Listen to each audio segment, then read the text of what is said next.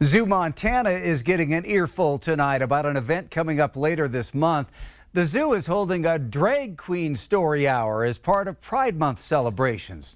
Our Haley Monaco has more on the controversy. June is Pride Month, and with festivities kicking off soon, the Billings Zoo is receiving some backlash for an event being held there. Some even vowing to never attend the zoo again. But 406 Pride and the zoo are not backing down. Zoo Montana is the place to go to see something new and perhaps unexpected, and that extends beyond the animals. Later this month, the zoo will hold a drag queen story hour, an event most Montanans have never experienced, and one some say they will never attend. Why are we putting such a contentious issue right in the heart of an area? Jenna McKinney oversees the group Montana Family Rights Alliance.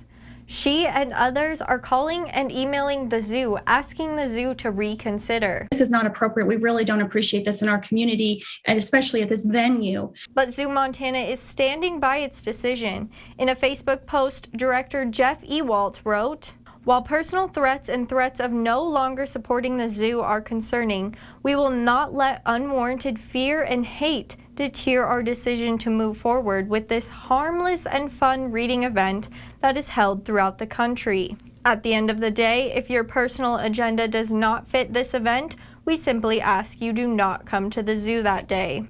Walt Donges is the president at 406 Pride and is proud of the zoo's support. There's a few times uh, in my life that I can say oh, I'm actually impressed, but I am impressed. I am pleased that it's not just me standing up, it's, it's the zoo standing up for what's right. And Donges says 406 Pride is no stranger to this kind of reaction. In this conservative community, people think that their way of thinking is the right way all the time. And, and there's not a lot of room for those of us that think differently or progressively. Yeah, we, we know what we're up against. We're up against a bully.